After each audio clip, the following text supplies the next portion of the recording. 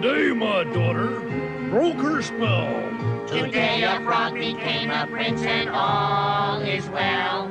Today we crowned a lovely queen. Today, my friends, no longer green. Today you looked into my eyes. Today we will cherish all.